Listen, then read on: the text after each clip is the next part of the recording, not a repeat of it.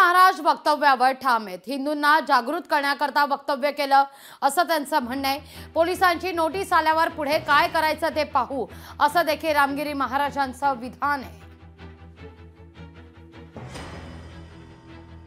अराजकता कोणी निर्माण करण्याचा प्रयत्न करीत असेल तर अशा वेळेला प्रत्युत्तर देण्याची क्षमता सुद्धा आपल्यामध्ये असावी.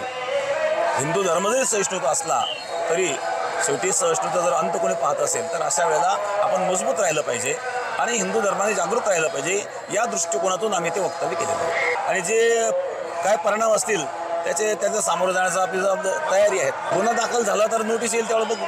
ठीक आहे. आता आम्हाला जे बोलायचं ते आम्ही बोललेलो आहेत. लोकशाही मराठी. ऐका पहा जागरूक रहा.